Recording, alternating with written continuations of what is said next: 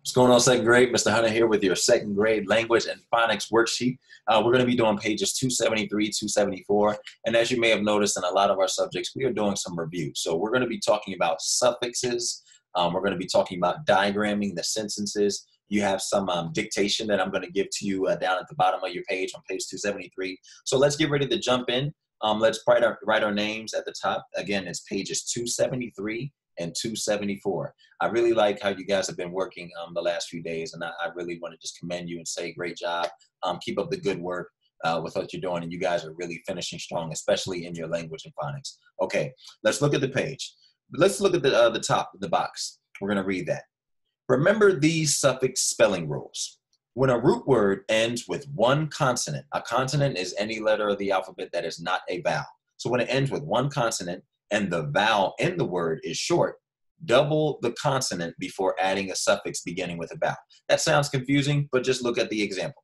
You have big, then you add er. So you add bigger, bigger. It ends with a consonant and the vowel is short. So the I in big is short and then it ends with a G, which is a consonant. So what you're gonna do is you're gonna double the consonant, which is the G, and then you're gonna add the E and the R at the end. So bigger. So you had big, you add that consonant, double it up. So there's two G's now.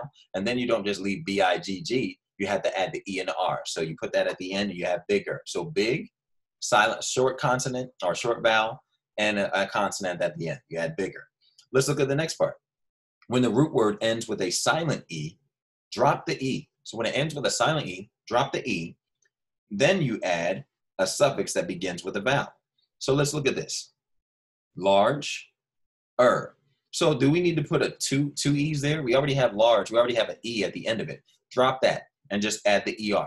All right. So you have large. You don't need a two e's on there. Just drop that one e, then add er. So large, L A R G. Add the er, larger.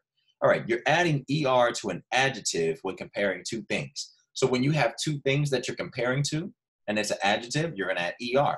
You add est to an adjective when comparing three or more things. So two you add ER. Three, add EST. Everybody think of that. Just when you see two things that you're comparing, ER. When you see three, EST. We're going to get some practice with that in just a second. All right. John is taller than James. Who are we talking about? We're talking about two boys. So only two people, we just add ER, taller. If I say John is small, smaller than James, we're still talking about two boys, so we add ER. Look at this. John is the tallest boy in his class. We're talking about several boys, not just one. So if I say Jeremiah is taller than Sam, I'm going to say that for our first grade. Jeremiah is taller than Sam. But if I say Jeremiah is the tallest of the first graders, I'm not just talking about Jeremiah. I'm talking about Dylan. I'm talking about Sam. I'm talking about Eliana. So we're talking about more than one. All right. Let's look at number one, and we'll go over the directions, and I'll let you know what you're going to be doing. Um, you guys will probably fly through this pretty easily. All right. Number one, it says read the sentences. Write the correct adjective in the blank. So here we go we have an adjective that's in parentheses, but we got to fix it, all right? Our new tent is nice than our old one. All right, what are we doing here? We're only talking about two tents. We have our new tent and our old tent. So when we only have two, what do we add? Do we add EST or ER? That's all you have to think about. Remember the two. You're talking about two things, you add ER. Talking about three things, EST. We're all talking about two tents, our new tent and our old tent. So we're gonna be nicer. Our new tent is nicer nicer than our old one. Okay, let's do the next sentence. The hike we took today was short than yesterday's hike. How many hikes are we talking about? We're talking about today's hike. We're talking about yesterday's hike. So that's what we need to do. The hike we took today was shorter than yesterday's hike. We add ER because we're only talking about two things. Three things, you add EST. You're going to do the next two on your own. I think you'll be able to do that just fine. Number two, it says add the suffixes to the root word. So you're adding ER to icy, green, and yummy. And then you're going to add EST to those same words. So how is it going to look? Which letter do you drop?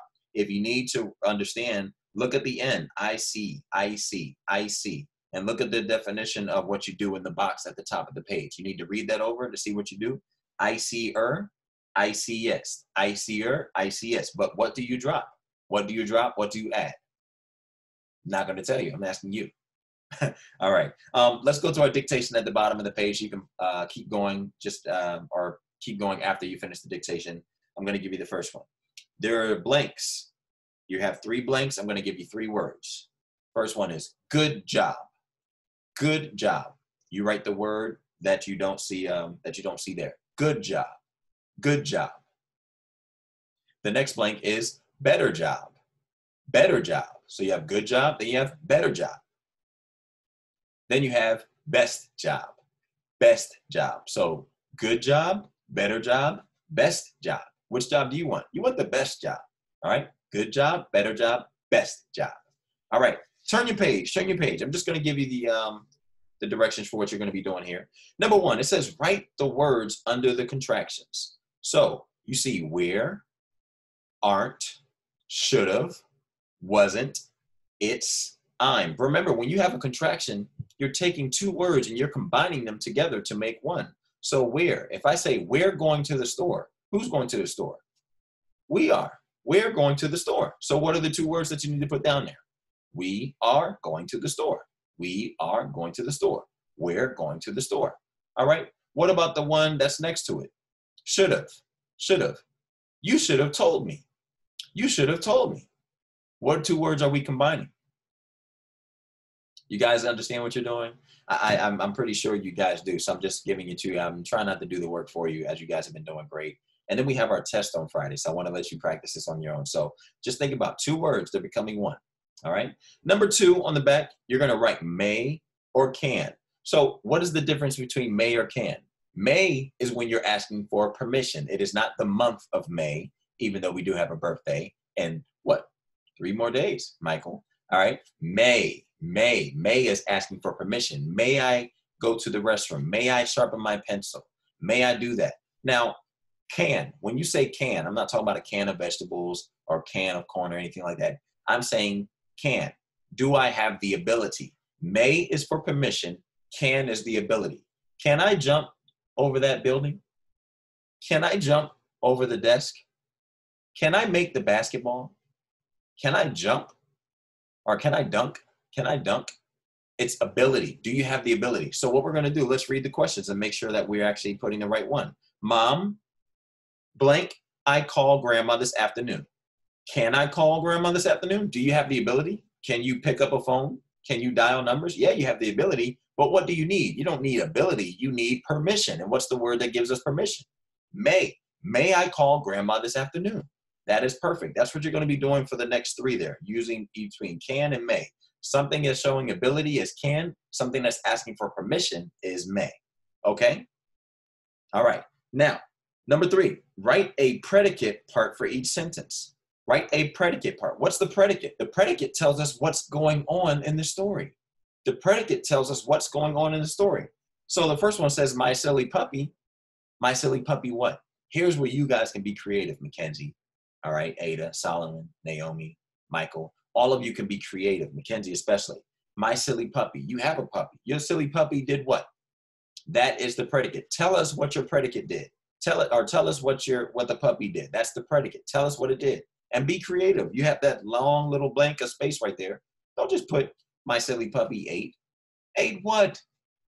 Do something, all right? Be creative with that. Write the predicate. Ben and Jacob, what did Ben and Jacob do? You guys can do anything you want. That's appropriate. That's good for class. I think you guys are going to do well with that too. Use your brains, use your brains, be smart about it. Now, uh, number four, it says write a subject part for each sentence. Wait a minute, Mr. Hunter. We just wrote the end of the sentence about what they did. Now we have to write who was doing it. Write a subject part for each sentence. So what you have there says taste sour, taste very sour. What tastes very sour? What tastes very sour? You know what I would put for me? I've had this candy called Sour Patches. Sour Patches taste very sour. What tastes sour to you? What tastes very sour to you? What do you know tastes very sour? You can look it up. You can make up something. All right. And the other part flew to the top of that very tall tree what flew to the very top of the tall tree. All right, you're putting the subject. So the one part and three, you're putting the predicate, which is the end of the sentence. Number four, you're putting the uh, subject. And number five, it says mark the sentence, diagram the sentence. My chocolate cupcake fell off my plate. When you see the subject, you underline it once. When you see the verb, what did the subject do? You underline it twice. Then you're going to put the subject on the left side. You're going to put the verb on the right side in the blank space on the line. Okay. So the subject gets underlined once, the verb gets underlined twice. That is your language and phonics lesson for today. um, really, really cool, um, different exercises. I think it's making your brain work in a variety of ways. You're not just doing one thing about adjectives. You're not just doing one thing about commas or proper nouns or common nouns. You're not just doing anything about verbs. You are combining a lot of different lessons that we've learned over the year to try to refresh your brain and your memory about what, the, what it is that's expected of you and what you need to do. I think you're going to have fun with it. Have fun, please. Look, looking forward to talking to you guys tomorrow. Remember, your YouTube, uh, your test is going to be on YouTube on Friday. So tomorrow we'll be doing our next lesson on page two, 275 and 276. And it's more work with what we're doing today ER, EST. All right. I'll see you tomorrow.